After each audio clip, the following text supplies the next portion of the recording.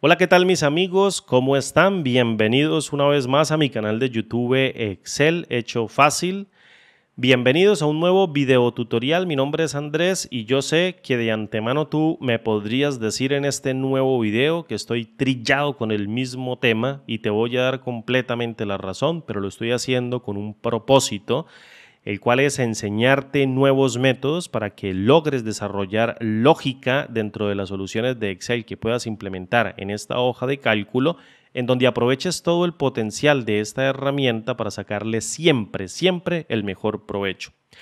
Voy a volver a repetir el video tutorial del Workbook 1190 con otro método que nos ha planteado Oscar Méndez Roca, que desde aquí, desde este momento en que estoy grabando el video tutorial, te doy las, mis más sinceros agradecimientos o te doy las gracias o sí, mis más sinceros agradecimientos por aportar esta respuesta tan oportuna que soluciona el problema de otro modo cuya lógica vale, ser, vale la pena ser compartida en un nuevo video tutorial para que todas las personas que están interesadas en aprender obviamente Excel podamos hacerlo siempre en comunidad con el fin de sacarle siempre el mayor provecho. Así que Oscar Méndez Roca, el cual dejaste un comentario en el video 1190 dando solución a la pregunta que nos hizo arroba zap en, esta, en este texto o en este comentario, los cuales voy a explicar ahorita. Muchísimas gracias por dejar siempre una solución alternativa, de la cual obviamente te felicito de una y espero compartirla de la mejor manera para que todas las personas puedan aprender sobre tu modelo para que obviamente tengamos mucha más lógica al momento de abordar nuevos temas. El punto es que en el video 1190 arroba zap nos hizo una pregunta. Obviamente no voy a volver a leer porque puedes ir al video y leerla, pero sí voy a explicar de qué se trata rápidamente para que podamos tener contexto. Y posteriormente voy a dar la respuesta de arroba zap no haciendo modificaciones, sino haciendo un pequeño cambio en la fórmula que él planteó para que quede mucho más entendible a la hora de consumirla a través de este video tutorial. Perfecto.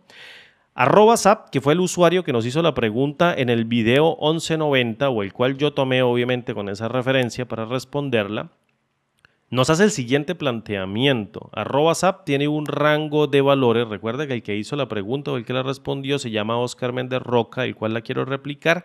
Y arroba Zap fue el que hizo la pregunta en el video 1190. Bien. Arroba SAP tiene un rango de valores tal cual como tú estás viendo acá. Este rango de valores está conteniendo o contiene dentro de sí algunas celdas en blanco tal cual como tú lo puedes apreciar. Así mira, tal cual como tú lo puedes apreciar. La particularidad de este rango es que está ordenado siempre de manera descendente.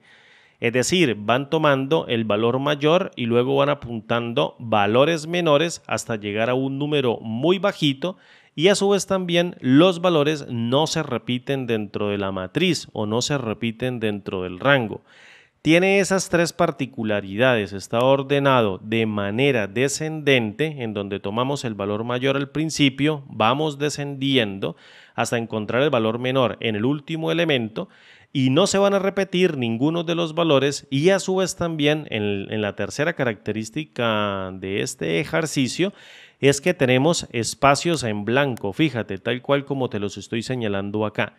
El punto es que arroba zap quería sacar una diferencia del primer elemento respecto del segundo, es decir, tomar el primer elemento y restarle el segundo de este jueguito de dos celdas.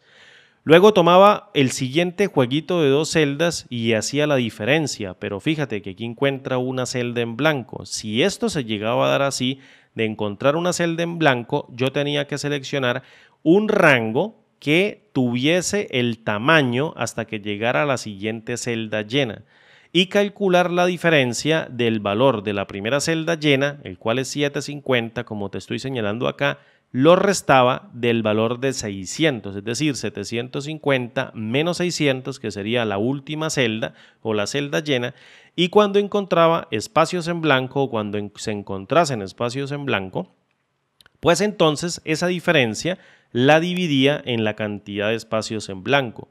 Si nuevamente encontraba algún a los valores de esa parejita o los valores de ese tramo de dos elementos, pues simplemente hacía una diferencia. Si encontraba nuevamente en el siguiente tramo otro valor, pues hacía la diferencia. Si encontraba un vacío, tendría que moverse a una celda donde se encontrase llena, realizar la diferencia del primer elemento respecto del segundo y dividirlo en la cantidad de elementos vacíos que había o que de, de, lo cual se conformara ese intervalo. Fíjate, tal cual como tú lo estás viendo aquí en esta columna. Entonces, en el primer tramo de 2 encuentro una diferencia de 230. Fíjate, se, se resto la celda azul respecto de la celda roja, que sería primera menos la segunda, y obtengo un valor de 230.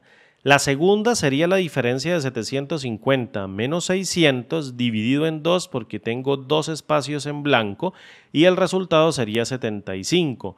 La siguiente diferencia sería 600 menos 545. La siguiente diferencia sería de 545 menos 450 me daría 95. Y la siguiente diferencia del jueguito de 2, como encontraba un espacio en blanco, tendría que correrme hasta donde encontrara uno lleno nuevamente, tomaba el valor de 450 y le restaba el valor de 380 y dividía en 1. Yo sé que tú me vas a decir, ¿para qué divides en 1 si vas a obtener el mismo resultado? No importa, la fórmula tiene que hacerlo así. Porque en caso de que no encuentre un elemento, sino dos o tres, el método tiene que ser útil para un elemento, dos elementos, tres elementos, cuatro elementos, etc. Fíjate que la que sigue serían 380 menos 285, me da 95. La siguiente sería 285 menos 222 con un tramo de tres celdas dividido en 3 me da un valor de 21. La siguiente me da un valor de 97 y por último las dos siguientes me dan un valor de 125 menos 105, un valor de 20. Yo planteé mediante el uso de la función lambda, o yo escribí una función lambda que actuaba de manera recursiva. ¿Qué quiere decir una función lambda que actúa de manera recursiva? Que se autollama hasta que completa cierto patrón, se detiene y entrega un resultado. Y lo hice así mediante el uso de esta fórmula y obtuve la respuesta tal cual como SAP me la estaba pidiendo. Esta función lambda que tú estás viendo acá, yo la creé dentro del administrador de nombres. Perdón yo la creé mediante el administrador de nombres como mi función número uno, fíjate, y luego vine y la corrí aquí dentro de este rango de celdas, le pasé los parámetros de entrada con los cuales yo la había escrito y esa función me entregó el resultado que ArrobaSap me estaba pidiendo. Sin embargo, Oscar Méndez nos hizo una nueva sugerencia en este punto, que es la que quiero compartir con todos ustedes, para que incrementemos muchísimo más nuestro conocimiento. ¿De qué se trata esto? Fíjate, déjame tomar aire un poquito. ¿De qué se trata esto? De lo que nos planteó Oscar. Estoy bastante contento porque realmente esto es lo que me apasiona, compartirlo de una manera, digamos, como bastante amena, como en especie de un cuentecillo, para que tú lo entiendas, puedas analizarlo, luego en tu casa, luego en tu computadora, luego en tu trabajo lo puedas analizar y entiendas con la guía que yo te estoy dando, con la guía que yo te estoy ofreciendo, la solución que puedo plantear yo, que pueden plantear otras personas, que pueden ser mucho mejores que las mías, para que tú incrementes tu bagaje intelectual que te permita afrontar cualquier tipo de problema dentro de Excel hasta encontrar una solución, que fue lo que o que es lo que estoy haciendo en este video tutorial. Fíjate, Oscar nos regaló su respuesta. Le voy a apuntar aquí respuesta, luego voy a venir aquí a inicio y le voy a colocar un colorcito de verde en negrita, tal cual como está apareciendo acá. Y te voy a explicar el método. ¿Qué fue lo que hizo Oscar? Lo que hizo Oscar fue barajar todo el rango a partir de dos rangos que no contuviesen los valores de los espacios y luego calculaba las distancias de cada rango que sí los tuviese o de cada intervalo que sí los tuviese y hacía esas divisiones. Pero el punto es cómo llegamos a eso mediante el uso de una fórmula, que es lo que te quiero contar acá. Ese es el método.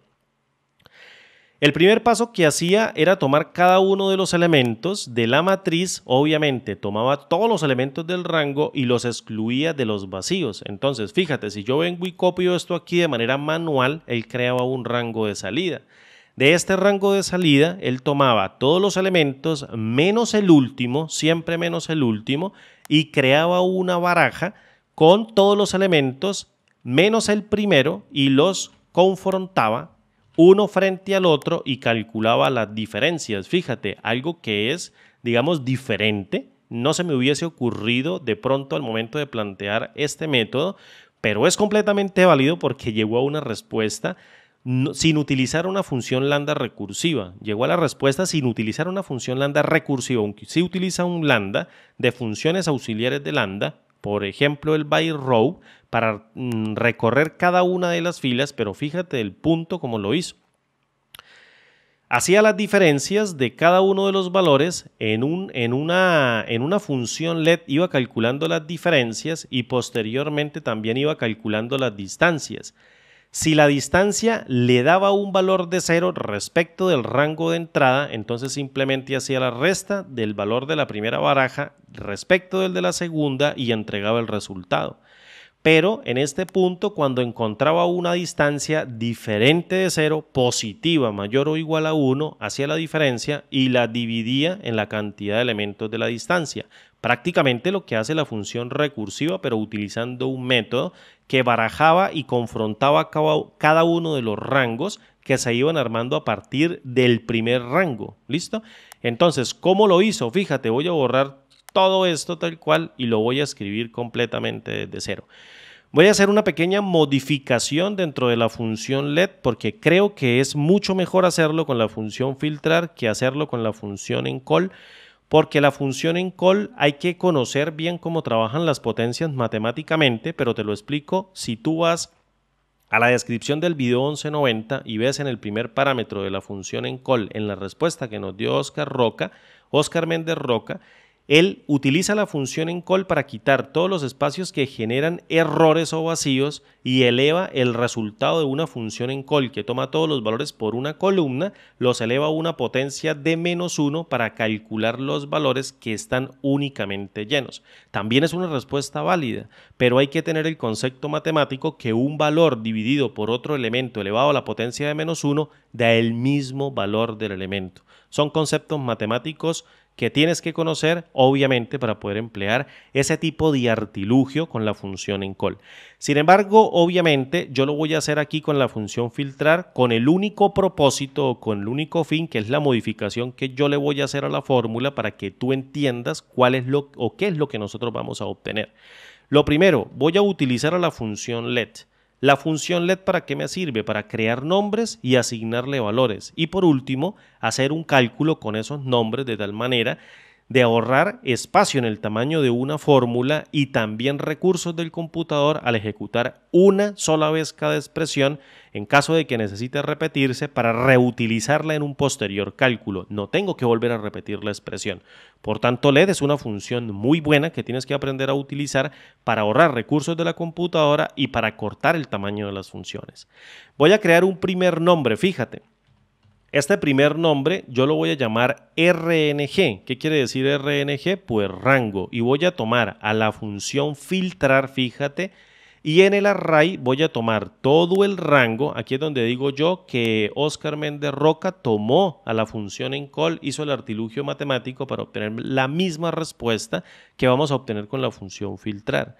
Le voy a decir a la función filtrar, filtrame toda la matriz de valores cuyos elementos sean diferentes de un vacío, es decir, todos los elementos que se encuentran llenos, imprímelos por favor en una nueva matriz. Fíjate que si yo utilizo el cálculo de la función LED, pues obviamente voy a obtener la misma matriz resultante de la que te planteé hace un momento, excluyendo todos los espacios en blanco. Perfecto, hasta este punto yo creo que eso ha quedado claro. La segunda modificación que le hice es no pasar directamente la matriz de, esos dos, de esas dos barajas directamente dentro de la función by row, sino yo la voy a utilizar en un cálculo también para que tú me entiendas cómo debe hacerse o bien la puedes pasar directamente dentro de un by row. Ahorita miramos si lo hacemos en el transcurso del video, ¿vale? Entonces voy a crear un nuevo nombre que se llame, por ejemplo, baraja, tal cual como yo lo estoy viendo, que estoy barajando un mashup de, con el mismo rango, quitándole el primero y el último elemento y confrontándolos. Y voy a utilizar a la función apilar en horizontal en donde tome el valor del rango, en este caso que generé en el paso anterior, pero voy a excluir el primer elemento y de, esa, de esa otra, de la matriz número 2, voy a excluir el último elemento para hacer la confrontación. Es decir, utilizo la función excluir y tomo el rango, el cual estoy generando en el paso anterior, y le digo excluyeme el último elemento con el valor de menos 1, es decir, de abajo hacia arriba, quítale el último y por favor apílalo en horizontal con una matriz número 2 que también se va a crear con la función excluir en donde tome el valor del rango y le quite el valor de arriba, es decir, el primer elemento, el que se está generando en la parte de arriba, con el valor de positivo. Fíjate ahora que si yo cierro la función excluir y cierro la función apilar en horizontal, si yo imprimo el nombre de la baraja, pues obviamente voy a obtener lo que te mostré hace un momento como por aquí, un mashup o voy a obtener una barajita en un paso intermedio que va a tener los mismos elementos de la matriz sin los vacíos, sin el último elemento y los elementos de la matriz de todos los valores menos el primero, excluyendo los vacíos, tal cual como lo tenemos. ¿Qué fue lo que hizo en este caso? ¿Qué fue lo que hizo en este caso Oscar? Oscar Méndez Roca. Fíjate, muy sencillo no utilizó un paso intermedio, sino utilizó el cálculo de la función let del let externo, de este let externo, lo utilizó con la función by row, fíjate, para pasarlo por filas. Yo abro aquí a by row, de hecho lo voy a colocar aquí en mayúscula y le voy a decir en la última celda que me suprima los valores para que el IntelliSense me salga con la función y voy a llamar a la función by row y posteriormente en el array estoy devolviendo el retorno de la función apilar en horizontal que toma el rango, le quita el último elemento y lo apila en horizontal con ese mismo rango, quitándole el primer elemento. Le quito el último, le quito el primero y luego lo paso a esa matriz dentro de la función by row. Fíjate, esto no tiene ninguna dificultad. Posteriormente voy a crear el lambda. Aquí vamos a poner lambda en mayúscula porque no sé por qué mi versión de Excel no lo coloca en automático. Cuando estoy trabajando con by row, entonces vengo y pongo aquí a lambda, abro un paréntesis y el parámetro que me está pidiendo lambda de la función by row interna es un parámetro que va a recibir cada una de las filas. Por tanto, yo lo voy a llamar así. En este punto lo voy a llamar guion al piso fila. ¿Qué va a hacer? By row va a tomar cada una de las filas y los va a pasar dentro del parámetro de fila de la función lambda interna para que yo lo procese o haga algo con él. Es simple como eso. Dentro de este mashup que estoy generando con la función apilar en horizontal, voy a tomar fila a fila, fila a fila, y la voy a empezar a arrojar directamente dentro del parámetro llamado fill, que va a contener cada una de las filas en cada una de las diferentes iteraciones que tiene la cantidad de filas del rango resultante, que ahora va a contener dos columnas. Bien, le voy a dar una coma y aquí es donde viene el punto realmente interesante. Voy a crear mediante la función LED un juego de nombres nuevo. Fíjate que es bastante interesante. Le voy a dar una lenter para pasarme a la siguiente línea y me quepa el nombre, pero que sepas que vamos como nombre, valor, nombre, valor, nombre, valor y voy a crear un nombre que me permita calcular las distancias. Entonces vengo aquí y calculo un nombre que se llame, por ejemplo, distancias, que contenga las distancias de las celdas que se encuentren vacías en los rangos, obviamente que tengan un vacíos, o que tengan vacíos o que estén separados por vacíos. Los que no, obviamente me tiene que dar un valor de cero. ¿Y cómo hacemos nosotros esto? ¿Cómo carajo nosotros le decimos en cada una de las iteraciones, por favor, haz eso que te acabo de decir, toma cada uno de los valores y calcula las distancias de cada uno de los elementos, dándome un valor de cero, fíjate, para los elementos que se encuentren llenos y la cantidad de celdas vacías entre cada uno de los tramos que tengan obviamente celdas vacías. Fíjate cómo lo vamos a lograr. Voy a utilizar a la función fila. Me voy a ir despacito para que tú lo entiendas. Con esta función fila ¿Qué hace la función fila? O con esta función fila lo que yo pretendo es calcular el número de las filas de cada uno de los elementos del rango. Tú me vas a decir, pero Andrés, otra vez el rango y yo te voy a decir, sí, esta fórmula no la planteé yo, la planteó Oscar. Entonces, con la función fila, lo que voy a obtener es cada una de las filas del rango en cuestión que yo estoy trabajando. Fíjate, arrancamos en la 3, tal cual como te lo estoy señalando ahí con el puntero del mouse, y terminamos en la 18. Fíjate, arrancamos en la 3 y terminamos acá en la 18. No tiene esto nada de difícil, ni lo va a tener tampoco. El punto es lo que vamos a hacer a continuación, que es para trabajar con valores de error para eliminarlos. ¿Qué voy a hacer? Voy a dividir esa matriz que me está entregando el valor de 3, 4, 5, 6, 7, 8, 9, 10, 11, 12 hasta 18. Lo voy a dividir entre un valor lógico para cada uno de los elementos. Es decir, voy a tomar y voy a generar una matriz de tipo boolean. Fíjate, una matriz de tipo boolean que va, que, que va a contener valores de falso y valores de verdadero. Entonces, ¿cómo lo voy a hacer? Pues voy a tomar el mismo rango, fíjate, abro un paréntesis, voy a tomar el mismo rango y lo voy a comparar con el parámetro de fila entrante de la función lambda. En la primera iteración yo voy a tener el valor de 980 aquí en la primera filita y en el valor del frente voy a tener 750. Solo quiero que te guíes en esta primera iteración. ¿Qué va a hacer esta comparación? Pues va a comparar 980, 750, vacío, vacío, vacío, 600, 545, 450, vacío, 380, 285, 3 vacíos, 222, 125 y 105. Los va a comparar con el parámetro de fila que está entrando de la función lambda en la primera iteración que va a contener el valor de 980 y el valor de 750 truncado a dos columnas. Es decir, va a contener en la columna número 1 de esa fila, mejor dicho, voy a sacar aquí el selector para poderte mostrar. Aquí tenemos en esta primera fila que va a tomar by row, voy a hacer aquí un pequeño espacio, obviamente lo que hay detrás de eso, porque aquí se ve la fórmula, aquí, aquí va a estar la celda número 1 y aquí va a estar la celda número 2. Control Z, la celda número 2. Fíjate, dos celdas independientes. Entonces, lo que hace la función byRow es tomar toda la fila, lo que se encuentra señalado en rojo, que va a tener dos columnas, columna número 1 y columna número 2. Aunque tenga una sola fila, eso tiene dos columnas. Entonces, el punto es que yo voy a tomar toda la matriz, toda esta matriz de 980, 750 y todos los espacios, y la voy a comparar con un valor que va a tener una fila por dos columnas. ¿Qué creen que me va a dar como resultado esta comparación?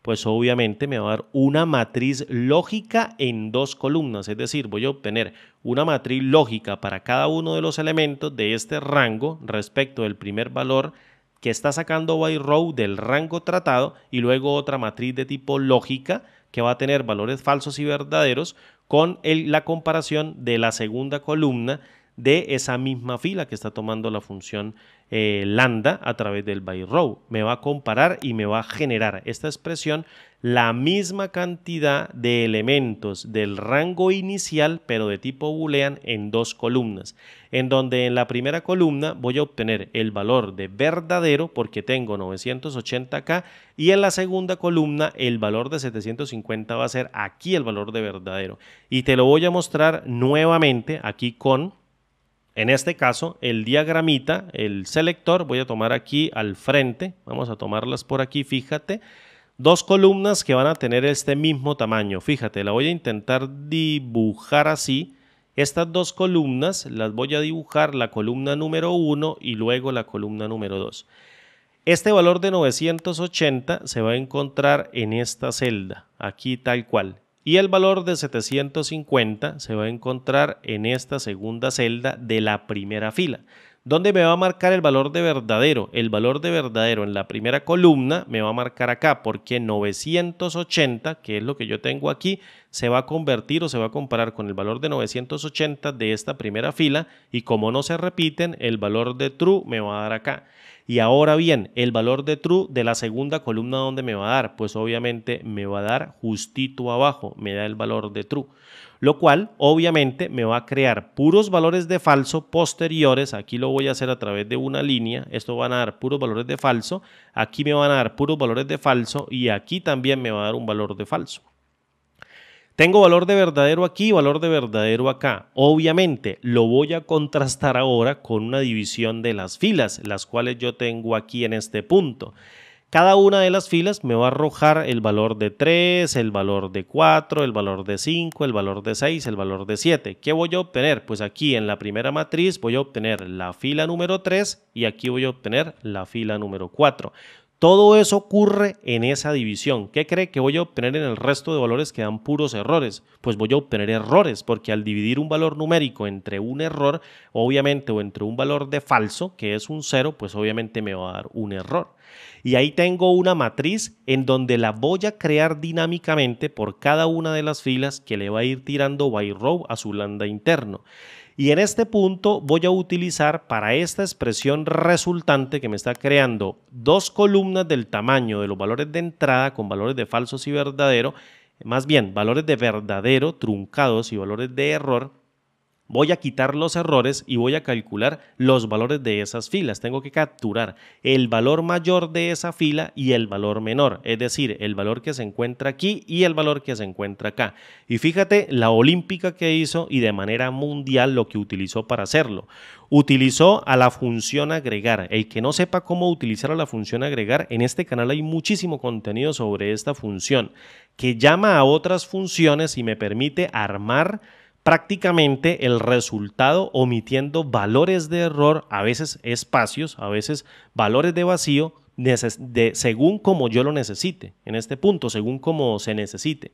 Entonces, lo que él utilizó fue a la función k punto menor, mediante la opción 15. La opción 15 es la opción k punto décimo punto menor. Fíjate, si yo vengo y quito todo esto, fíjate que la opción 15 se llama k punto décimo punto menor. ¿Qué hace la función k punto décimo punto menor? La función k punto décimo punto menor extrae el primer elemento menor de una matriz, el segundo elemento menor de una matriz, el tercer elemento menor de una matriz, etc. La cantidad del índice menor de una matriz lo va a sacar esa función. La particularidad de llamarlo desde agregar es que yo puedo omitir los valores de error, obviamente originados por una división de un número entero que corresponde a cada una de las filas por valores de cero que están representando como valores de falso de esta matriz de tipo lógica que estoy reconvirtiendo a dos columnas con el parámetro de fila de la función lambda interna de by row, que está llegando siempre con dos columnas por filas, por una sola fila. Obviamente lo estamos haciendo a través de by row. Entonces la función k punto décimo punto menor me está diciendo, listo, te voy a tratar esta matriz para sacarte el elemento menor que tú me digas. Y aquí Oscar vuelve y se la juega monumentalmente, sacando no un elemento menor, sino sacando dos elementos menores. ¿Cuál va a sacar primero? Va a sacar el segundo elemento menor, el cual lo va a obtener en la columna de la derecha, de esa columna auxiliar que está generando implícitamente al comparar el parámetro de fila con esta matriz que está creando aquí a partir del rango, va a sacar el segundo elemento menor que va a ser el más grande, es decir, va a ser el de la fila que se encuentre más abajo, en este punto la 4. Fíjate que está sacando aquí los índices, es decir, el valor de 4, no está sacando los valores, el 750 ni el 980 está sacando ese el índice de 4. Entonces le digo, sácame el segundo elemento menor de ese jueguito de 2 porque va a omitir la función agregar todos los valores de falso. Y posteriormente, en la siguiente columna, sácame el primer elemento menor. Yo sé que sonaría muy tonto, pero eso es un solo rango. Y en ese solo rango la función agregar saca el segundo elemento menor, que sería el de la segunda columna, y el primero estaría obviamente en la primera con un primer elemento menor, que sería el valor de 3. Si yo te doy dos columnas y en la primera te pongo 3 y en la segunda te pongo 4 y le digo a través de la función k punto décimo punto menor, tráete el segundo elemento menor, ¿cuál te vas a traer? Pues obviamente el 4 porque es el segundo elemento más pequeño dentro de la matriz. Y ahora, el primer elemento más pequeño dentro de la matriz, pues obviamente es 3. No importa dónde se encuentren, si en la primera o en la segunda. Obviamente hace el ordenamiento. Y esto lo pasa como una constante matricial o lo pasa como una constante de matriz envuelta dentro de un par de corchetitos. Cierra la función agregar, fíjate, muy simple. ¿Y qué crees que te va a devolver esto? Pues obviamente te va a devolver 4 y 3 en su correspondiente orden. El resultado va a ser un 4 en el primer cajón y un 3 en el segundo cajón.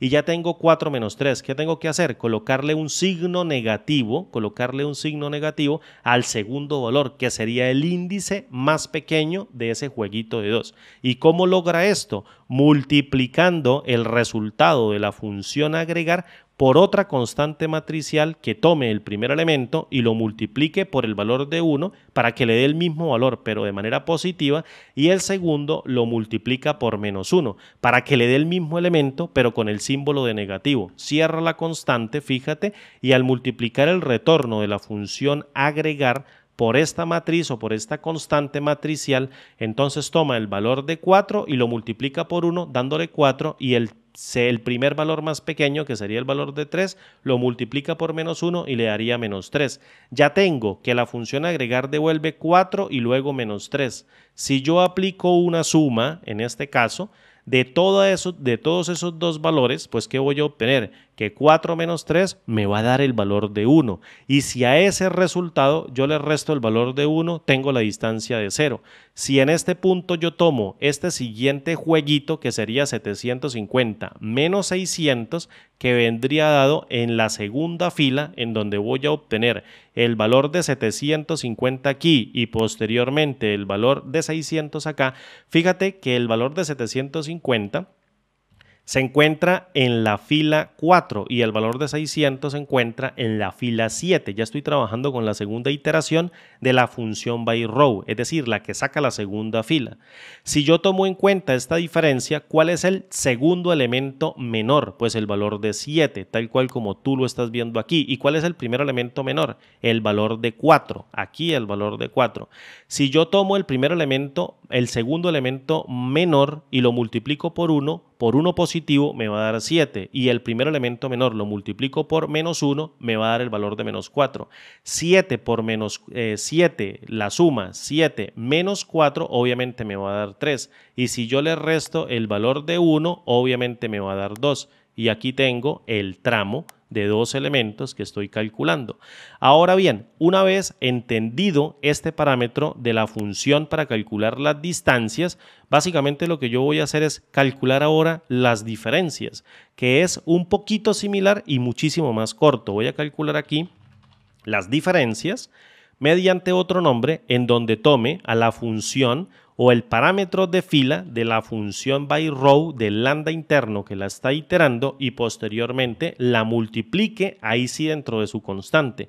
Es decir, abro unas llaves y coloco para el primer elemento que me está llegando en la primera fila una multiplicación por 1 y para el segundo elemento por menos 1, de tal manera de obtener en la primera columna un valor positivo y en la segunda un valor negativo. Y si le aplico la función de suma a esos dos valores, ¿qué creen que va a pasar? Pues voy a calcular la distancia sin problemas que existe entre cada uno de los valores no vacíos del rango 980 menos 750. ¿Por qué 980 menos 750? Porque 980 está en la primera columna y 750 está en la segunda. Entonces tomo 980, lo multiplico por 1 y luego 750 y lo multiplico por menos 1. Me queda 980 menos 750, lo sumo y me da un valor resultante que sería la diferencia, que en este caso sería 230. Y como el tramo para este elemento me dio 0, porque le resté el valor de 1, entonces voy a dividir el valor de esa diferencia, que es 230, entre 0, y si eso me llega a dar un error, entonces imprimo únicamente la diferencia. Pero si no genera un error, entonces tomo el valor de la diferencia y lo divido entre la distancia del tramo. Me sacudo las manos y ya obtenemos el mismo resultado. Obviamente es muy complejo entender esto. Obviamente tenemos que hacer, digamos, como el barrido minucioso, expresión por expresión dentro de este LED hasta lograr el resultado. Pero básicamente, ¿qué fue lo que hizo? Esta persona, Oscar Gómez Roca, Oscar Gómez, no, Oscar Méndez Roca, creo que es Méndez, y Oscar Méndez Roca. Tengo que concentrarme aquí en la fórmula porque te lo estoy diciendo a capela, tal cual como cuando yo la entendí y la vi, yo dije, ah, lo que está haciendo es una baraja, obviamente entre dos, entre dos columnas generadas artificialmente a partir de un solo rango. Entonces utilizó la función si.error para calcular posibles errores, fíjate. Y luego tomó el valor de la diferencia que yo tenía aquí, que sería este cálculo de las diferencias, vamos a ponerlo aquí de las diferencias, y lo dividió entre las distancias, la distancia que hay en cada una de las filas. La distancia la calcula obviamente esta celda. Si eso daba un error, imprimía únicamente las diferencias, porque el tramo no tiene distancias. Si esto genera un error, la distancia va a ser de cero. Cualquier número dividido entre cero me da un error y la función si.error lo procesa por filas y me devuelve solamente la diferencia. Pero si eso no genera un error, entonces toma la diferencia, que sería estos dos valores, y lo divide entre las distancias que la estoy calculando con el parámetro anterior de LED y punto, pare de contar. Cierro la función si punto error, cierro a la función, en este caso vamos a ver cuál función estoy cerrando, cierro a la función si punto error, luego voy a cerrar a la función LED que se encuentra justo acá, fíjate, cierro la función LED, cierro la función lambda, cierro la función by row y luego cierro la función LED, enter y también obtengo el mismo resultado de salida. Básicamente, ¿qué voy a hacer? Voy a copiar esta fórmula y para que tú la entiendas mejor, me voy a venir acá, le voy a dar aquí ancho y voy a intentar pasarla por partes para que tú puedas ver la respuesta. Fíjate, vamos a colocarle el mismo colorcito, ya me tiré la copia, así que tengo que volverla a copiar y vengo y la pego acá está dándome literalmente lo mismo o me está dando prácticamente el mismo resultado. Entonces yo voy a reciclar y voy a intentar imprimir el valor de las distancias para que tú logres observarlo. Fíjate, aquí en sí punto error, en el cálculo voy a hacer una copia de esta función sí punto error, lo voy a suprimir y voy a imprimir las distancias. Evalúo con enter y fíjate que la distancia de 980 a 750 me da el valor de 0. Luego, de 750 a 600 me da el valor de 2. De 600 a 545 me da una distancia de 0. De 545 a 450 de 0. De 450 a 380 una distancia de 1. De 285 a 222 una distancia de 3 de 222 a 125 una distancia de 0 y luego de 125 a 105 una distancia de 0. Básicamente es esto. Ahora bien, si yo no imprimo las distancias, sino vengo e imprimo, en este caso las diferencias, fíjate lo que me están dando las diferencias. 230 para este tramo, el cual como no tiene distancias de cero, obviamente da un error. Es como tomar 230 y dividirlo entre cero. Eso me genera un error. Por tanto, la función si punto error viene y dice, si eso te da un error, imprime solamente esa diferencia, lo cual me da 230. Ahora bien, tomo el siguiente tramo que se confronta con 750 sin espacios con el valor de 600, saca la diferencia 150 y la distancia es de dos celdas. Lo divide entre dos y obtiene el valor de 75. Eso no da un error porque 150 dividido entre dos sí da un número válido que es 75 y ahí tienes la respuesta. Imprime únicamente el valor de la diferencia dividido en la distancia y no imprime únicamente la diferencia y obtiene el valor para cada uno de los tramos de todo el rango correspondiente, simplemente confrontando dos celdas. Entonces, para dejarlo tal cual, pego el valor de sí punto error, fíjate, evalúo con enter y estoy obteniendo la respuesta.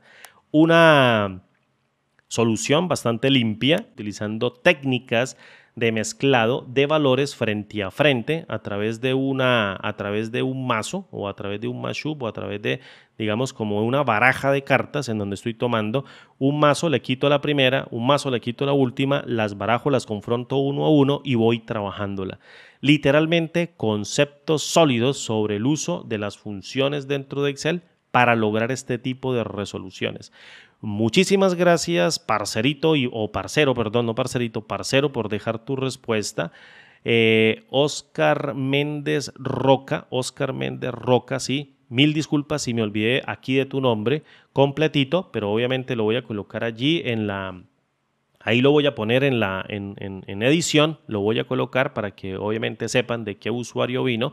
Y en el video 1190, el cual pues él me puso la respuesta muy amablemente, me la dejó a disposición para poderla replicar. La idea de esto es que un problema de Excel puede resolverse literalmente de muchas maneras.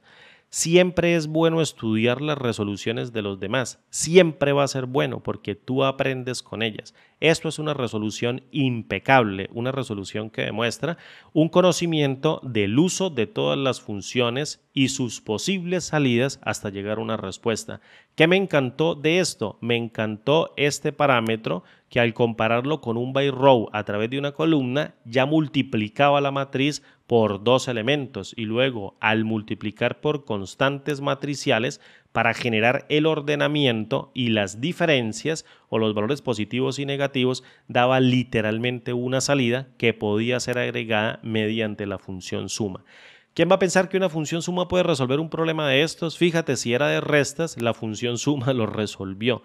Utilicé obviamente las restas con los símbolos de, negativo dentro de las constantes de matriz o las constantes matriciales que pasan dentro de la fórmula, pero literalmente el que terminó solucionando el problema fue una función suma para calcular las diferencias. Algo que parece ilógico al principio y lo que digo yo como superfluo al verlo y diría eso no tiene sentido, pero sí que lo tiene cuando desgranamos cada una de las partes de esa respuesta. Gracias Oscar por entregarnos tu solución. De hecho, te lo agradezco de corazón por compartirla con toda la comunidad y por darme la oportunidad de poderla explicar para que todas las personas que estén interesadas en aprender aprendan y mejoren sus habilidades en torno de Excel y cuando se les presente cualquier problema Nunca jamás les quede grande, nunca jamás digan que no se puede hacer cuando tienen el bagaje intelectual para poder encontrar y buscar una solución que te permita tomar los datos y convertirlos en información útil que te permita tomar siempre excelentes decisiones. Mil disculpas por lo largo del tutorial, siempre me exijo bastante al momento de dar la explicación, mil disculpas y repito muchísimo, pero obviamente la idea es para que el tutorial llegue a personas que quieran aprender y quieran todos los detalles para poder entender una respuesta. Mil gracias a todos por vernos, mil gracias a todos por verme o por ver el contenido del canal, gracias por tu presencia y nos vemos como siempre en el siguiente video tutorial. Hasta pronto y chao.